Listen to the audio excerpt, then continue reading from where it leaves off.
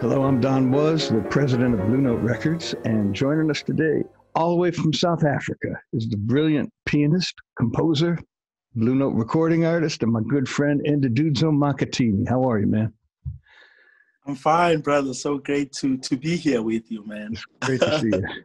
Well, I think I mentioned yeah. to you, we recently announced the extension of our Blue Note 80th anniversary vinyl reissue series.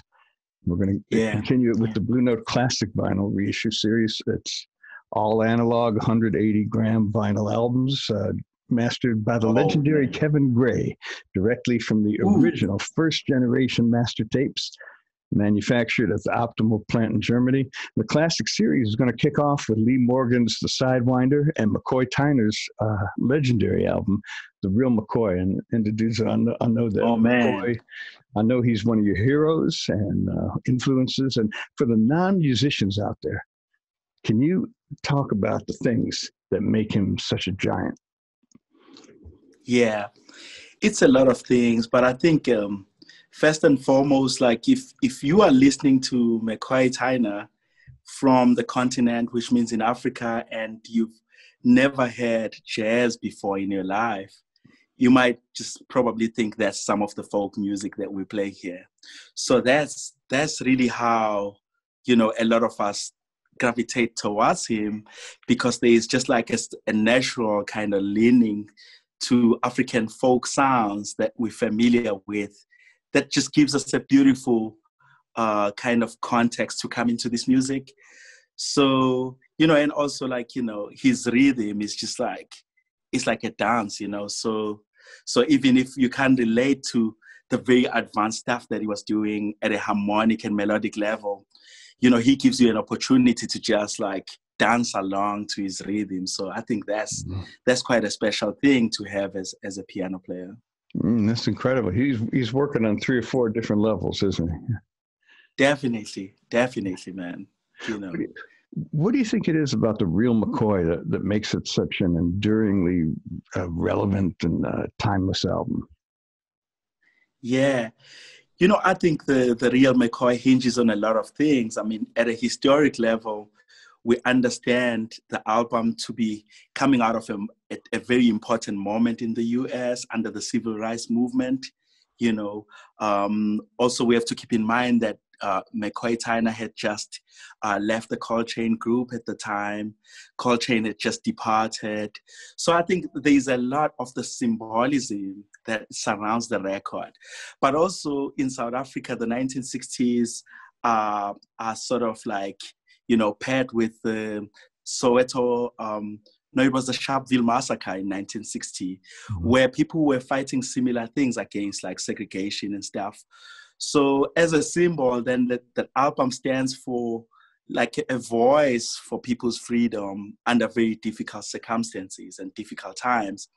But also when you look at some of the songs, they have a, a level of gentleness that is like you know sort of gave a sense of hope so so i i think you know i don't know how how deliberate he was about the selection of these five songs but for me they touch on different aspects of protest you know and a way of of going against something but a way of confronting something at the same time and of course, you know, when you look at the personnel, you realize that it was a very deliberate thing, linking directly from Tyner via Elvin Jones, but also Ron Carter, you know, and Joe Henderson. So kind of like like a big celebration of of like people that were like-minded and and had a, had a kind of kindredship as well mm. in music. Do you have a favorite song uh, from the album? Man, that's a difficult one because I love different songs for different things. But of course, you know, like, you know, uh, Passion Dance is just like, it stands out.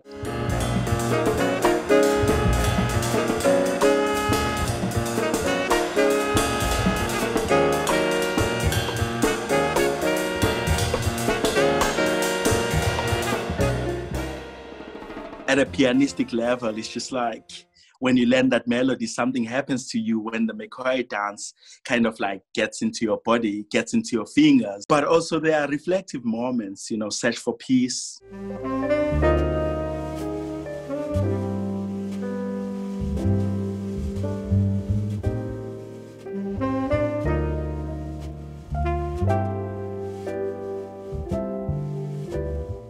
And looking at the the almost kind of impossibility of peace at the time, but like this, you know, searching otherwise, searching whether you get it or not. Mm-hmm. Um, and then and then Blues on the Corner was the first McCoy Tyner song I ever played.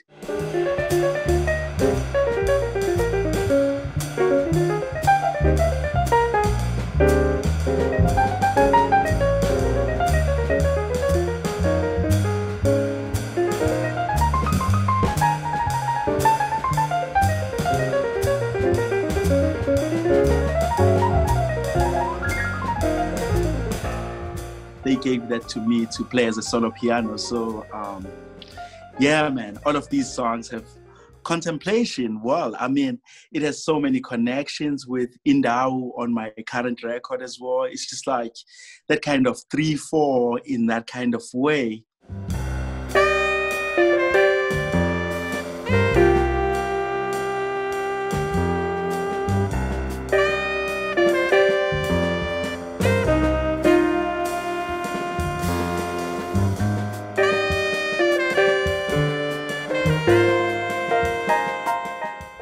There was just like instantly something that was familiar when I heard it. I was like, I see my grandmother dance to that. That's a good sign. well, you make me want to go back and listen to it from that perspective. Now I'm going to today, and uh, I'll, I'll, send you one of the new ones. You, will love it. They really, they really sound great, man. And Nduduzo, oh, thank, thank you so much for for joining us today. It's really good to see you. I hope you stay healthy and stay fit and keep playing out there. Lots of love to you, man, and thanks for for having me and to talk about someone so important um, more so for this country and you know kind of like a bridge into the music. So we are thankful always. Beautiful man. The blue note classic vinyl reissue series launches on december 4th and will feature albums from herbie hancock wayne shorter dexter gordon kenny burrell eric dolphy and a bunch of others.